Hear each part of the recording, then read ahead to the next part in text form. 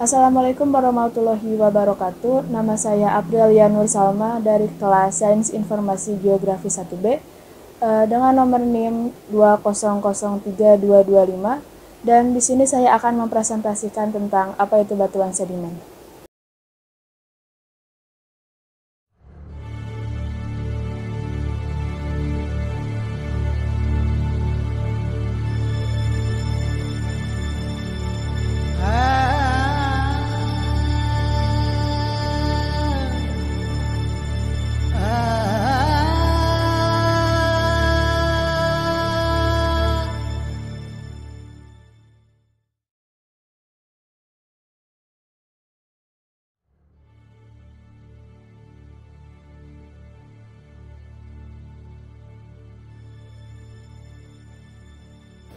Batuan sedimen atau sering juga disebut sebagai batuan endapan merupakan batuan yang terbentuk dari endapan bahan-bahan yang terbawa oleh air ataupun angin. Ada juga pengertian mengenai batuan sedimen, yakni batuan yang terbentuk karena adanya proses pembatuan atau litifikasi dari hasil proses pelapukan dan juga erosi tanah yang telah terbawa oleh arus dan kemudian diendapkan.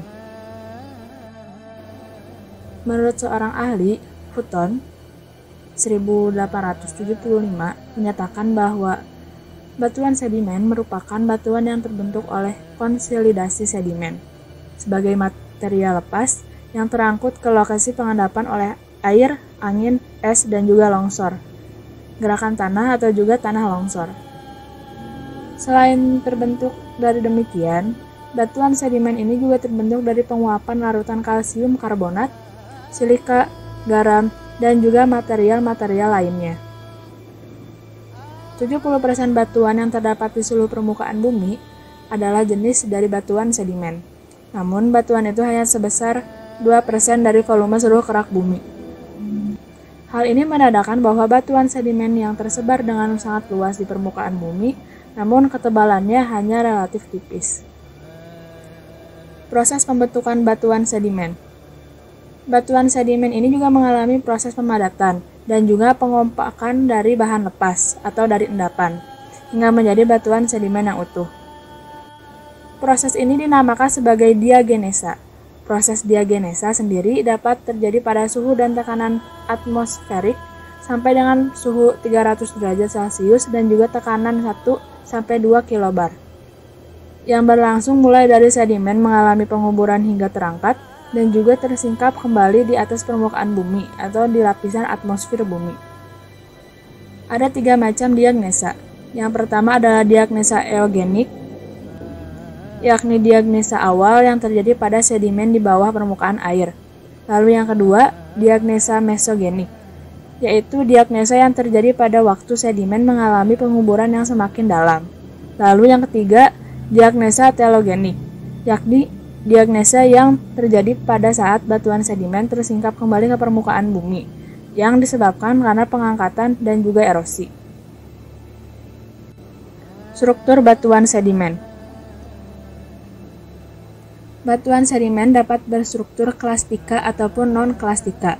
Namun apabila batuan sudah sangat kompak dan apabila telah terjadi rekristalisasi atau pengkristalisasi kembali, maka batuan sedimen ini memiliki tekstur kristalin.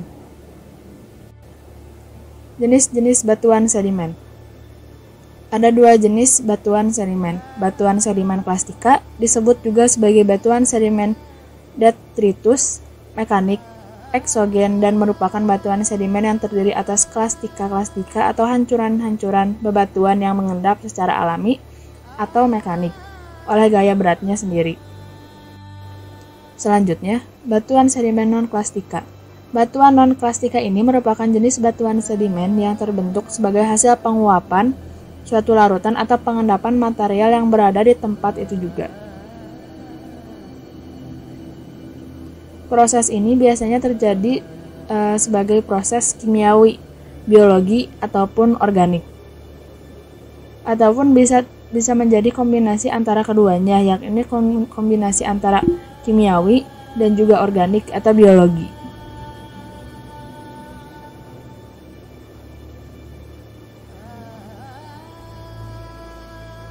Warna batuan sedimen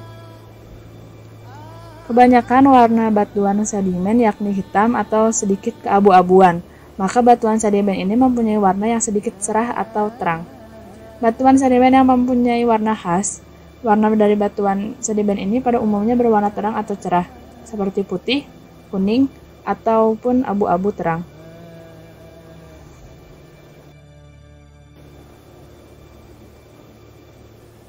Sekian dari saya atas penjelasan tentang batuan sedimen. Eh, mohon maaf bila ada kesalahan kata. Wassalamualaikum warahmatullahi wabarakatuh.